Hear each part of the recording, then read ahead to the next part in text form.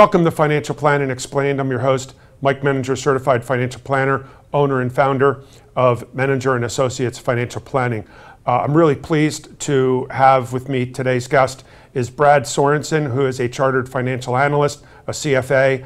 Uh, Brad is one of the members of the Cornerstone Portfolio Research, which is a group of CFA consultants who really provide us with uh, a tremendous amount of guidance and support and you name it as it pertains to uh, managing the assets that we do for our clients. Uh, Brad, thank you very much for joining us. I, I, appreciate it. Thanks, Mike. Glad to be here. So, um, also, congratulations, Brad. You also represent the 100th episode.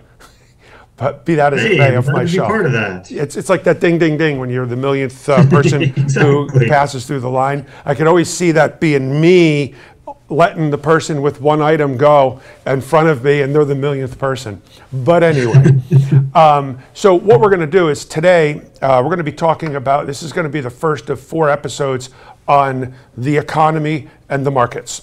And for those who follow, I have a Monday morning recap uh, that I send out every Monday morning. And it attaches actually what you write, Brad, uh, as far as a week in review. I write a week in review tie your stuff in. And for those who've been watching it for or reading it for the last year plus, they'll remember me referring to the 800 pound gorilla in the room. And the 800 pound gorilla is inflation and the Fed's response to inflation. So, uh, this episode is really going to be talking about just that the Fed's mandate, and the Fed has two mandates is price stability, which is so called inflation, and job stability, which is the labor markets, and making sure that we don't, you know, we have enough jobs out there. So, with no further ado, I'd like to take a look at the first slide, which really shows uh, inflation going back since prior to 1980, which was the last time of inflation. So, what this slide represents, I know it's kind of difficult to see all of the writing on it, but it shows uh, in blue, the light blue, uh, it shows the headline inflation, and then in the darker blue, it shows the uh, core inflation. And as you can see, both of these graphs represent that we haven't seen inflation like this in almost 40 years, actually over 40 years. Uh, Brad, would you like to touch upon, at least for the viewers, explain the difference between headline inflation, or CPI is the consumer price index. And if you can just, for the viewers, describe the difference between headline and core. Sure. Yeah, it gets a little confusing, but and there's debate among economists whether we should use the headline or core, and different financial analysts like to use one or the other. But the headline is basically all prices we pay, all the prices at the consumer level. So the consumer prices pay what they pay for food, what they pay for gas, what they pay for housing, all of those things, clothing, travel, all that stuff goes into the headlines CPI. And if you want to and you have time on your hands, you can go into the CPI website and they'll break it all down by those levels. The core is excluding what they consider volatile inflationary components, and those are food and energy. So when you hear core, that's excluding the food and energy because there are there's some belief that the Fed has less control over those things because there are external efforts, obviously drought and wars and OPEC, they can affect all of those areas. So sometimes they like to exclude that because it can be volatile and just focus on the core areas where they think they have more control and where they can focus their policy a little more. Well, headline inflation, which includes the energy, I didn't realize that food is as volatile. Certainly, we can all observe the volatility of gas prices at the pump and you know it reached a peak of 9.1% back in June of last year, June of 2021. That's not last year. Um, and so we don't see some of the other ones every day, other than, quite frankly, you hear of people going to the grocery store like, holy cow, you know, it, this is costing me substantially more today than it had previously cost. I just didn't realize that uh, food was as volatile as it is. Yeah, that's interesting to bring up, and that has been one of the pain points. Actually, those two. It's interesting that we exclude those because for consumers, those are the two that really hurt the most. for most consumers is their gas prices and their food prices because that's what everybody has to buy. But yeah, food can be very volatile due to, as we've seen through COVID, it can be affected by supply chains. Yep. And then we have the example of the conflict that's going on in Ukraine that affects grain availability, which goes into a lot of food products, and then transporting that across the world. And then energy prices can also increase the transport costs. So that all feeds into the volatility of food prices for people that they pay. Right, right, right. There's no doubt. And so one of the Fed mandates is to have price stability. And what you find is when, and the analogy that I use is the economy is like a fire, uh, like a fire burning, and the Fed has control over that fire with a fire hose. And the biggest control that they have is to raise or lower interest rates because when they raise interest rates, as we're all seeing, it causes strains on the economy and effectively the consumers buy unless it trickles its way down, that it lowers inflation. So there's many believe that the Fed was too late to start and that it might have been politically driven, not so much from the elections, but you know, politically driven where they wanted to be reelected. okay. And you know, but aside from that, um, we just went through, uh, in fact, we just had the Fed raise rates uh, on, was it May 5th or 4th? 3rd, May 3rd. Uh, right. Again, another quarter percent, which is not reflected in other slides that we're going to take a look at. But uh, the long and short of it is the Fed has raised rates by 5% in 13 months, which is unprecedented. Yeah, they have. And that we, you know, this could go on to a doctoral thesis of what they've done. So we won't go into that. But they did get behind and they've admitted they made a mistake at the beginning, not tightening sooner, not I, I don't even say tightening, not even removing the accommodation sooner. And to be fair, there was some ex- exogenous forces that made their, as we all know, they were dealing with COVID, and that made kind of their decision making process a little more difficult. The supply chain obviously helped increase inflation. They thought that would correct as the supply chain corrected. They should most people argue they should have known that the massive amount of money they were pumping in and the federal government was pumping into the market would cause inflation. That goes back to kind of economics 101 that more money equals more inflation. Right. Supply and demand, very simple. And the thing is, is that exactly. same goes with if there's no supply because of the supply chain disruptions, it was a perfect world, so to speak, the perfect storm. So you you had referenced the Fed's balance sheet okay, and the impact of the Fed balance sheet. And this shows here, uh, those are the two recessions. Is that correct in the gray areas? Yes. Okay, so was that 2008? I can't read it from the screen. Uh, 2008 and then 2020.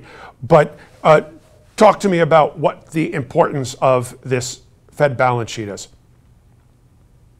Well, the Fed balance sheet is really important because if you go back, really, and if this went back further, you can even see it starts in 2004 that they really didn't play around with their balance sheet a lot. So that's the amount of money that they can pump into the economy, use that to grease the skids to either you know everybody focuses on the interest rates because those are the headline and easy to understand but they can also make more money available for companies to borrow and then our banks to borrow and then lend out thus kind of stimulating the economy. So we saw back in 2008, we got the jump there in the middle because they started, that's quantitative easing. They started to pump money into the economy because we had the real estate related recession and financial crisis. And then you fast, they never, part of the problem was they never undid that. So that stoked the fire, as you were saying. And then we got to 2020, COVID hits, world panics, financial world panics, whether they should or not, that's up for debate in memoriam. That'll be debated forever. But they greatly increased their balance sheet going in into the COVID part, and just now they are starting to reduce it very slowly. They don't want to make it, they don't want to cause a shock to the economy. So they're starting to bring it down very, they're forecasting it. They're being very plain about what they're doing it, and they're doing it in a slow and methodical fashion, trying to limit the damage to the economy because as you drain the economy of money, that does slow economic growth if you go back to Economics 101. So, Brad, uh, looking back at this chart again, can you, what's the relationship between the Fed balance sheet and the debt ceiling? Is there a relationship between the two? Well, there isn't really a relationship between the balance sheet and the debt ceiling, but there has been, like we've talked about the money supply, so there is a relation to the debt ceiling in that the federal government has been if you saw a chart of their spending, it would look somewhat similar in trajectory. That during 2008, they put a lot of financial stimulus level at the finance at the federal government level, and then during COVID, of course, we all know that they put a lot of stimulus out there through different packages, different aid packages, uh, food security packages, all of those kind of things. So that made us reach the debt ceiling faster than we would have otherwise under normal circumstances. So they're related in that both were trying to accomplish the same goals, which led to when you have that dual fuel coming into the economy, it just had to lead to the inflation that we saw yeah, so now I'd like to look at the next slide, and this shows what the Fed funds rate, and when you hear Fed funds rate, that's what we hear on the headlines. Hey, Fed just raised interest rates by a quarter percent. And you can even take a look at this one. This is prior to the Fed's raising the rates, so this is prior to May. And what we see here is look at that jump from 21 all the way to now. That's where I referenced that it went up 5% in such a short period of time.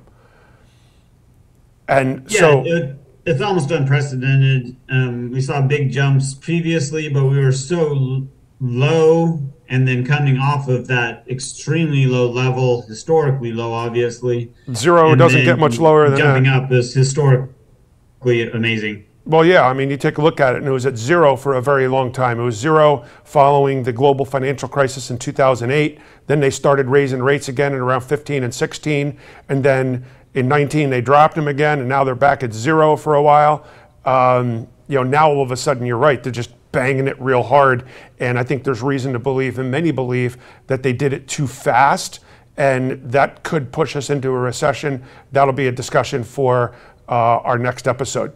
So, um, what I'd like to do is at this point take a break, and what we'll do is when we come back from break, uh, we'll talk about the other Fed mandate being the job market. So stay tuned. We'll be back with you in just a few moments.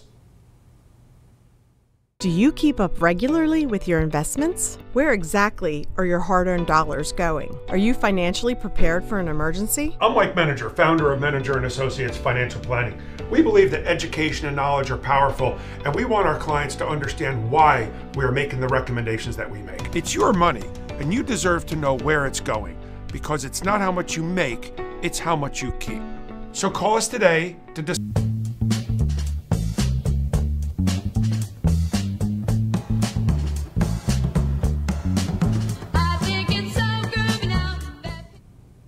Welcome back to Financial Planning Explained. I'm your host, Mike Menninger, certified financial planner, and still here with Brad Sorensen, chartered financial analyst.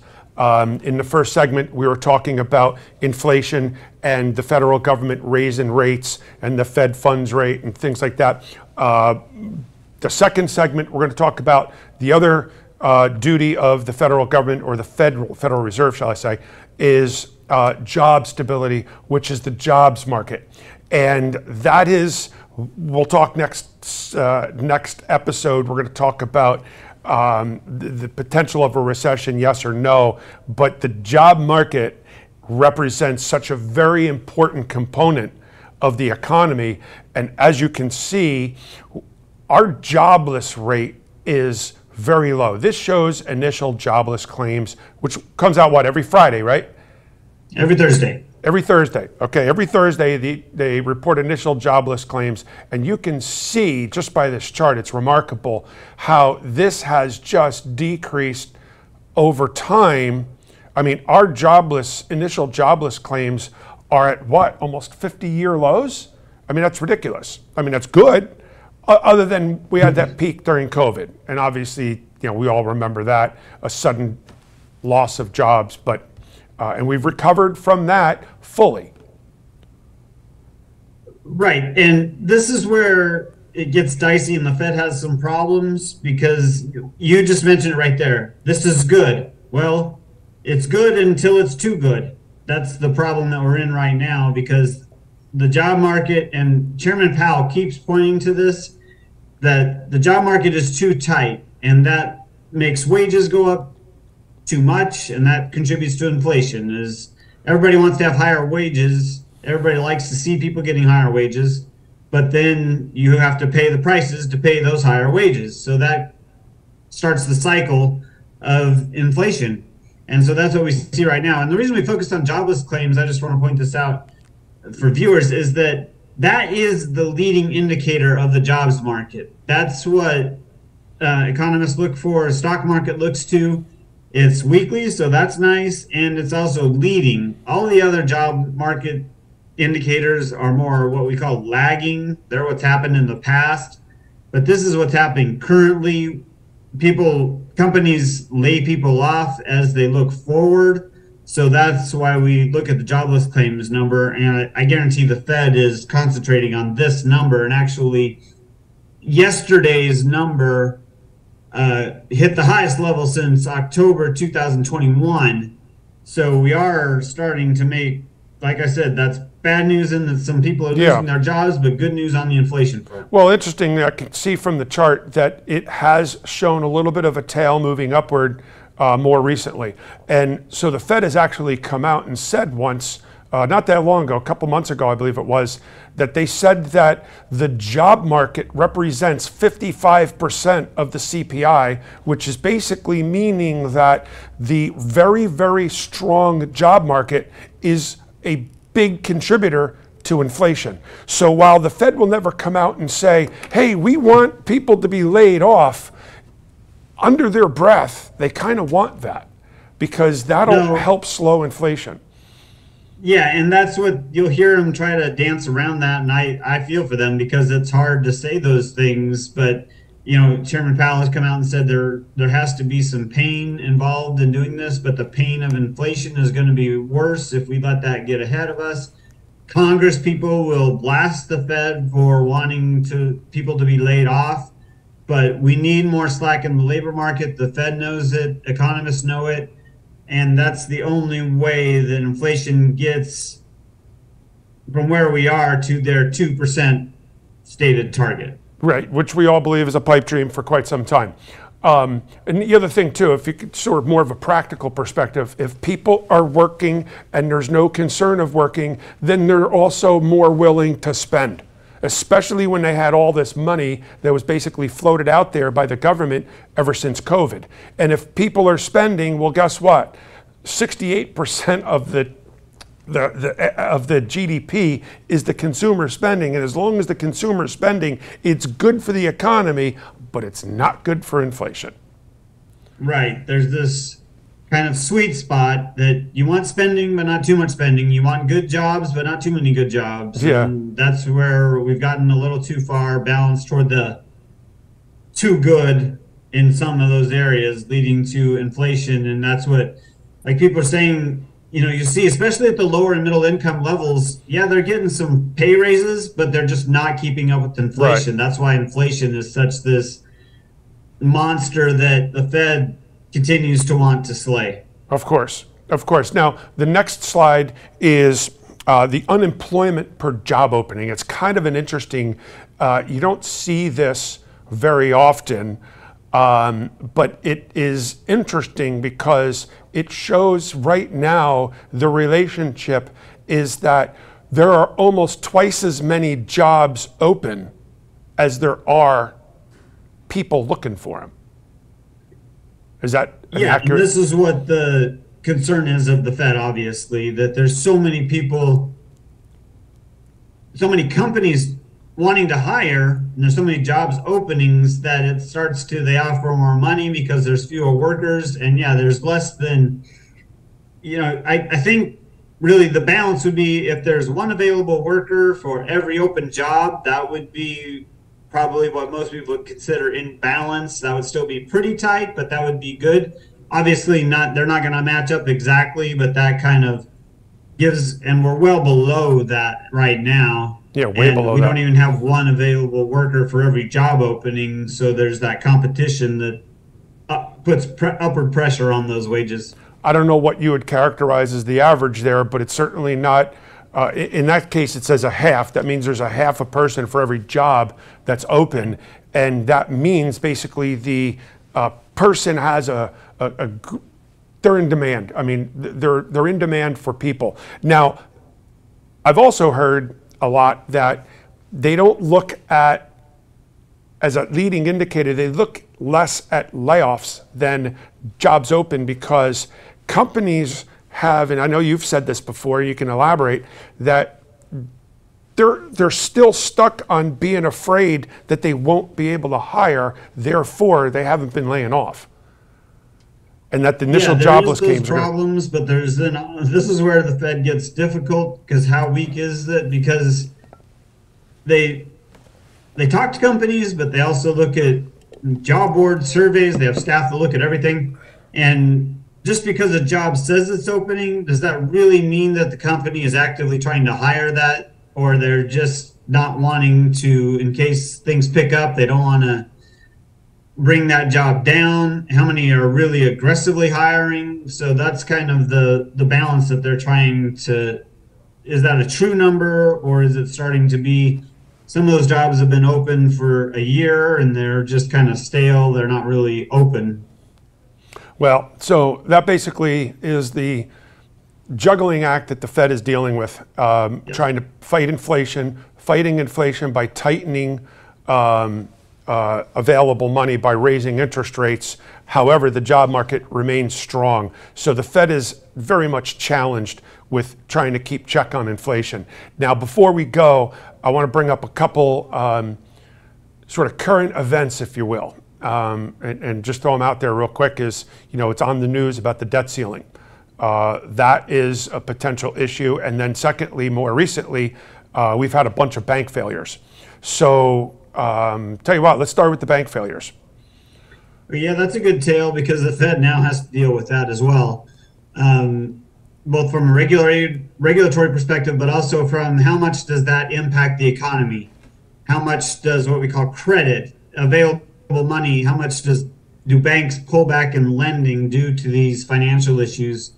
So what's happened is some of these regional banks have, through various reasons, they've misbalance, mismanaged their balance sheets Yeah. and you get nervous depositors and that once that happens you get what's called a run on the bank and basically there's nothing the bank can do to stop it they can say all they want to stay but once a once a depositor loses confidence in the bank it's all over for them so that's Yeah. what happened to a few banks and but the if you notice the stock market hasn't crashed you'd think it would be more concerned with all this but what happened was the federal government and the Federal Reserve both came in and said at the first failure that they are guaranteeing all banking deposits for two years.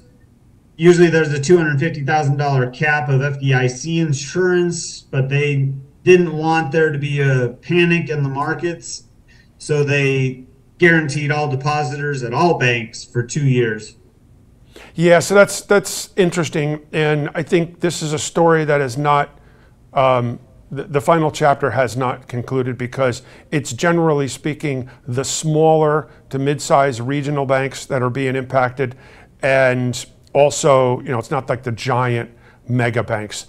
Um, but then there's still a couple others that are in the news that are in trouble that are at risk of potentially going down, and they're trying to per- say there's no contagion that this isn't going to be broad-based, but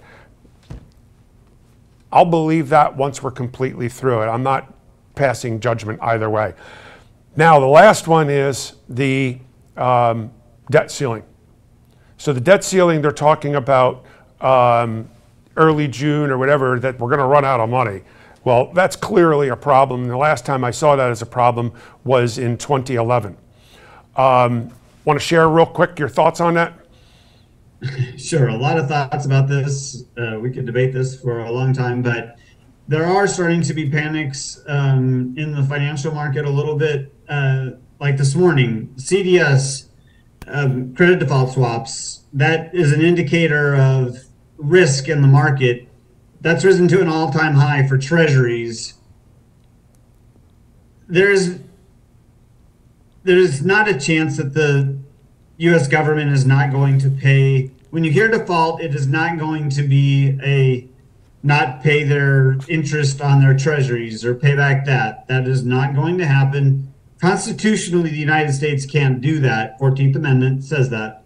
So they would stop. What would happen and what people are kind of worried about really is they would have to stop paying some other bills. Um, in 2011, it was they threatened Social Security. They'd stop being able to make Social Security payments or military benefit payments, things like that.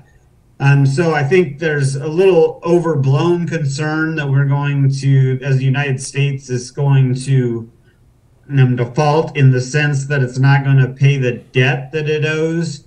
But obviously, this is causing some stress in the market and the sooner they can get something done, the better. But it will be at the deadline or even a little beyond because the phrase is deadlines make deals, and that's what happens.